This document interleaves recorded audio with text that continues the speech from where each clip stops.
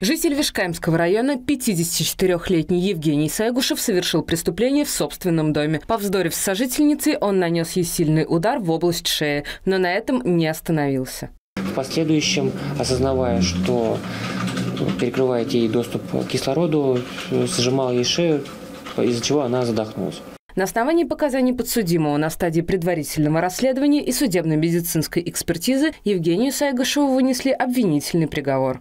Соответственно, судом данное действие было квалифицировано как часть первая статьи 105 Уголовного кодекса Российской Федерации, а именно убийство, то есть умышленное причинение смерти другому человеку.